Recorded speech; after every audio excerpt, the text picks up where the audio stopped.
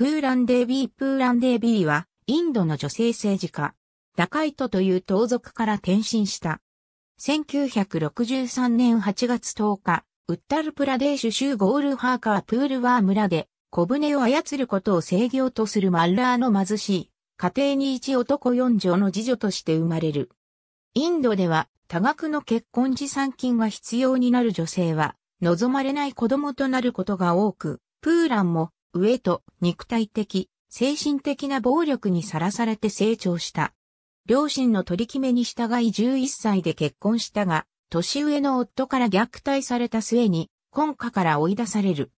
実家に戻ったプーランは、父親の労働を助け、一家の矢面に立つ存在となったが、身内の実力者との争いに巻き込まれ、1979年に地元の警察に逮捕される。その後、プーランは、チャンパル渓谷を根城とする盗賊団に誘拐され、狩猟の愛人とされるが、盗賊団の中の同じカースト出身のビクラムと意気統合し、狩猟を殺害して脱走し、ビクラム・プーラン盗賊団を結成する。盗賊の女王と称され、多くの強盗と殺人を犯した。しかし、プーランを義族とみなす人々からは広く慕われた。1980年、ビクラムは部下のラーム兄弟と警察の仕組んだ作戦により殺害され、プーランも捕らえられてベヘマイ村で両辱の浮き目に遭う。しかしプーランは、チャンパル渓谷最有力の盗賊団のリーダーである、ムスタクイームに救出され、彼の盗賊団の有力なメンバーとなる。プーラン・ムスタクイーム盗賊団は、1981年、ウッタルプラデーシュ州のベヘマイ村で領主の階級に属する男性22人を殺害し、インド全国及び国際的に悪名を轟かせた。同期は、以前プーランを臨艦したタークルのラーム兄弟を、はじめとする村の男たちに対する復讐であったが、被害者の中には、プーラン強姦事件とは直接関わりがなかったものも含まれていたとも言われる。プーラン自身は、ベヘマイでの虐殺に立ち会ったことを否定し、村人の目撃証言にも矛盾が見られる。司法当局とプーランに敵対する盗賊団はプーランを捕獲しようと試みたが、プーランは容易に捕まらなかった。インディラ・ガンディ政権及びインド警察当局とプーランの間で彼女自身と彼女の率いる盗賊団員を死刑から免ずるという司法取引が成立し、1983年、プーランは1万人が見守る部隊の上で投降した。プーランは裁判を受けることなく11年間投獄されていたが、1994年、ウッタルプラデーシュ州で新たに選出されたポピュリストのムラーヤムスインヤーダブ州首相が検察官に働きかけて彼女に対する訴追をすべて取り下げさせたため釈放される。彼女の釈放はインドでカイカーストに属する人々が団結を強め、政治活動を活発に行い始めたことと時を同じくした。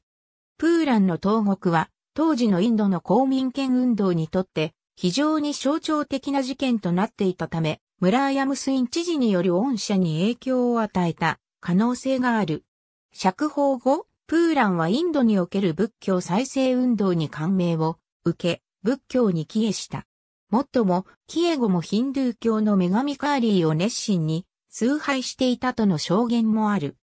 1996年、プーランの釈放に尽力したサマージワーディ島から国会議員選挙に出馬し、当選、国会議員となる。